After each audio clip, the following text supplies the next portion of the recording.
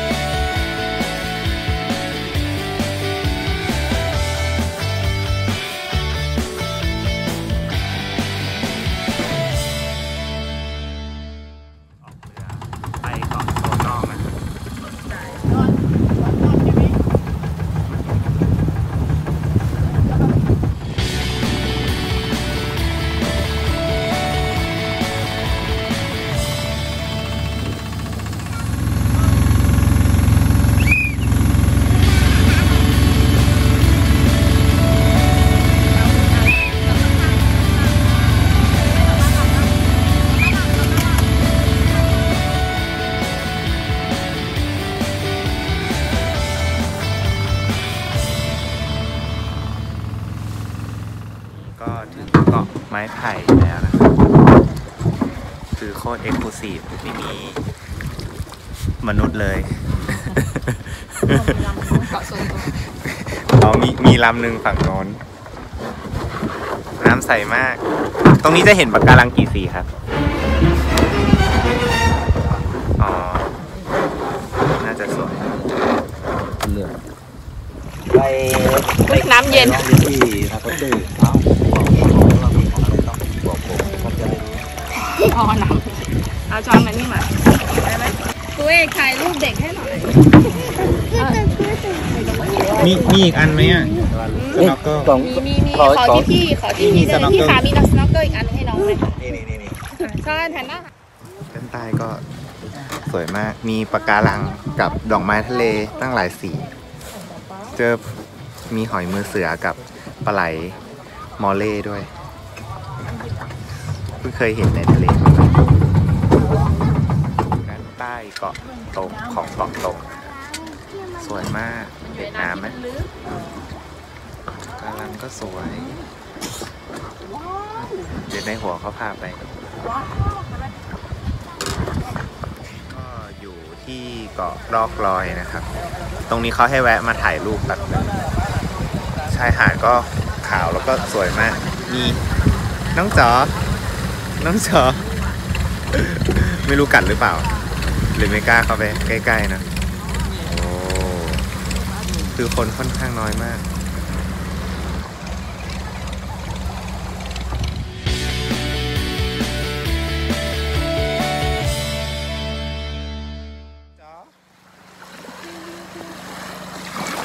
กลัวจะเดินมาหา ที่อุทยานแห่งชาติเกาะตาลูเตานะ ก็มาแวะกินข้าว อันนี้ก็เป็นอาหารที่เราเตรียมมาก่อนขึ้นเรือ เป็นกะเพราไก่ไข่ดาวจะได้กินง่ายแล้วเราก็หาที่นั่งตามสบายเลย แต่ที่นี่ต้องระวังนิดนึงเพราะว่ามีลิงเยอะ แล้วก็ห้ามให้อาหารลิงด้วย แล้วก็ถ้าเอาขยะกลับมาเนาะที่อุทยานก็จะต้องนำกลับไปทิ้งเองด้วยตอนทำอะไรครับ หาปูเสฉวนเหรอ มีไหมรูนั้นอ้าวไปถมรูปูทำไมก็ก็ก็เหรอแล้วมันจะออกมาไหมหนูมาเร็วช้อนหาอะไรอยู่นะจนหนูอุ้ย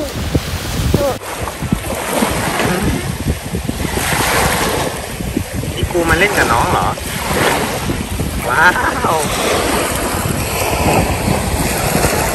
ปูเต็มเลย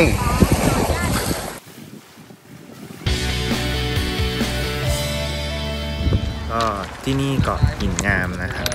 ก็มันจะเป็นสีดำๆเขาบอกว่าแต่ก่อนมันมีแค่ปะการังสีขาวอย่างนี้นะครับแต่ว่าหินสีดำมันมาเองนะแต่ก่อนมีคนมาเรียงหินกันเยอะมากเลยให้เป็นชั้นชั้นชั้นชั้นชั้นชั้นแต่ตอนนี้ ห้ามเรียงหินครับก็ตอนนี้กลับมาที่เกาะหลีเป๊ะนะครับ แล้วก็อยู่ที่ บันดาหยารีสอร์ทเดี๋ยวเย็นนี้เราจะกินข้าวที่นี่เนาะที่ตรงเนี้ยดีมากเลยมันจะมีที่อาบน้ำสำหรับคนที่มาเปลี่ยนชุดเปลี่ยนเสื้อผ้าเนอะแล้วก็ไปเปลี่ยนในห้องน้ำที่นี่ก็ได้ บรรยากาศดีเงียบมาก